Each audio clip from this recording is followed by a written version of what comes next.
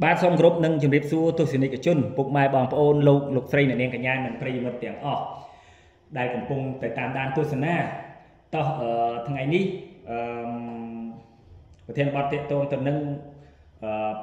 តំបន់ទេសចរនិងរមណីយដ្ឋាននានានៅក្នុងប្រទេសកម្ពុជាថ្ងៃនេះខ្ញុំលើកយកនៅតំបន់ទេសចរមួយកន្លែងបែបអឺប្រវត្តិសាស្ត្របាទ គឺភ្នំដាបាទភ្នំដាបងប្អូនប្រជាពលរដ្ឋខ្មែរយើងស្ទើរតែគ្រប់រូបបាទធ្លាប់ដឹងធ្លាប់ឮណាពីប្រវត្តិភ្នំដាតោះថ្ងៃនេះខ្ញុំនាំអារម្មណ៍បងប្អូនទៅទស្សនានៅប្រាសាទភ្នំដាម្ដងថាតើភ្នំដាហ្នឹងមានប្រវត្តិយ៉ាងដូចម្ដេចហើយស្ថិតនៅទីតាំងណានៅតំបន់ណានៅកន្លែងណាខេត្តណាបាទហើយចម្ងាយផ្លូវប៉ុន្មានមានសេវាកម្មអីខ្លះនៅទីនោះបាទ ភ្នំដាគឺគេសាងសង់ឡើងបាទខ្មែរយើងពីចំនួនដើមហ្នឹងគឺសាងសង់ឡើងនៅលើកំពូលភ្នំបាទនៅលើកំពូលភ្នំកម្ពស់40ម៉ែត្របាទភ្នំកម្ពស់40ម៉ែត្រហើយប្រាសាទបែរមុខទៅទិសខាងជើងបាទសសំដៅទៅរករាជធានីនគរភ្នំបាទហើយភ្នំដា សពថ្ងៃគឺយើងស្ថិតនៅខាងផ្នែកខាងជើងខាងកើតខាងជើងឈៀងខាងកើតនៃទីរួមខេត្តតាកែវអឺស្ថិតនៅក្នុងឃុំគោកធ្លកស្រុកអង្គរបូរីខេត្តតាកែវណាបងប្អូនអឺដែលចង់ទៅលេងបងប្អូនទៅខេត្តទៅស្រុកអង្គរបូរីបាទទៅស្រុកអង្គរបូរី ស្ថិតនៅក្នុងឃុំគោកធ្លកស្រុកអង្គរបូរីខេត្តតាកែវមានចម្ងាយអឺ65គីឡូម៉ែត្រពី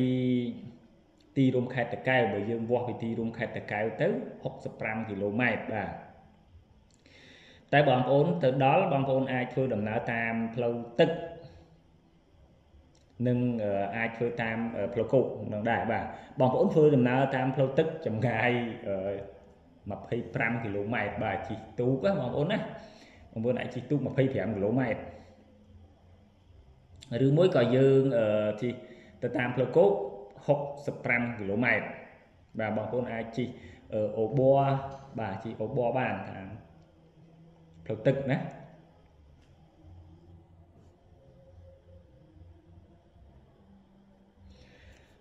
ឥឡូវខ្ញុំ រៀបរាប់ខ្លះខ្លះតកតងទៅនឹងសក្តានុពលទេសចរនៅតំបន់ភ្នំដានឹងមានអីខ្លះបាទ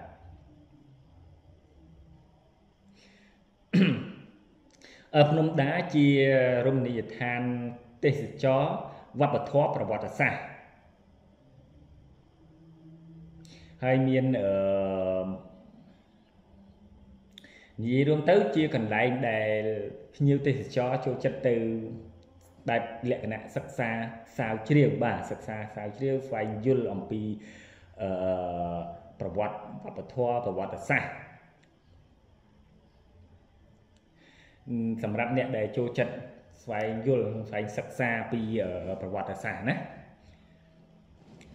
គេទៅភ្នំដានិយាយរួមទៅប្រវត្តិភ្នំដាហ្នឹងគឺកសាងឡើងយូរ យារណាស់មកហើយបាទមុនគេបង្អស់បើនិយាយមែនតែនទៅគឺមុនគេបង្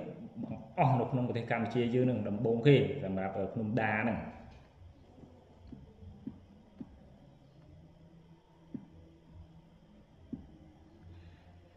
ឥឡូវខ្ញុំនិយាយពីទេសភាពជុំវិញវិញបាទទេសភាពជុំវិញភ្នំដាហ្នឹងគឺមានសម្រស់គួរឲ្យកយគុណ ស្អាតបាទនៅរដូវវស្សាគឺគាត់ជំវិញទៅដោយទឹកបាទទឹកលហលហេវហ្មងបងប្អូនដូចសមុទ្រអញ្ចឹង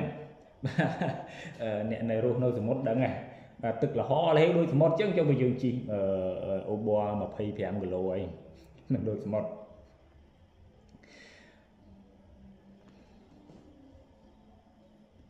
ហើយអឺ និយាយពីលក្ខណៈប្រាសាទវិញ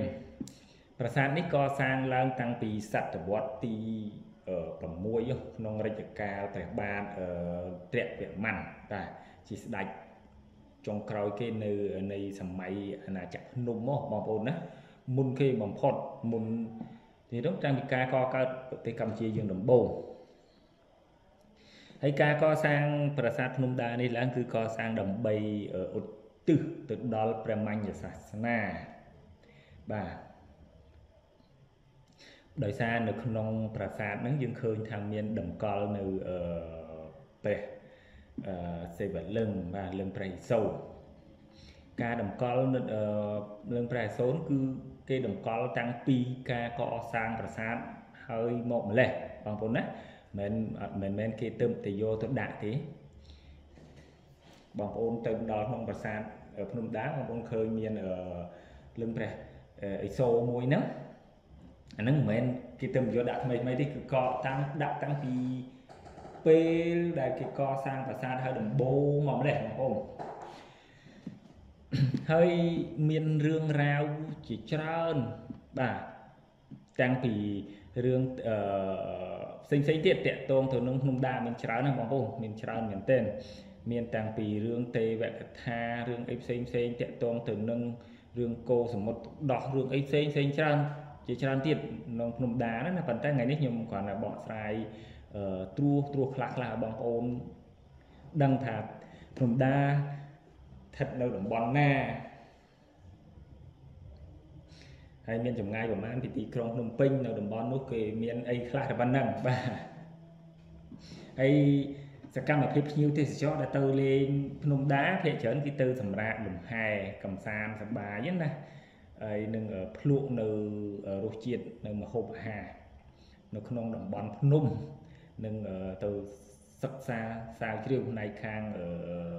ប្រវត្តិសាស្ត្រវប្បធម៌បាទ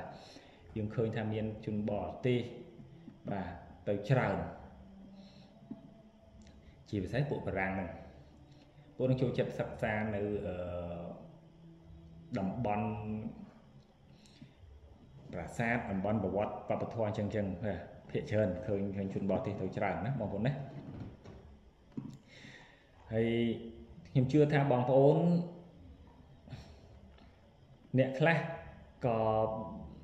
បានដឹងភ្នំដាតាមប្រវត្តិរឿងទេវកថាអីផ្សេងផ្សេងអញ្ចឹងទៅបាទ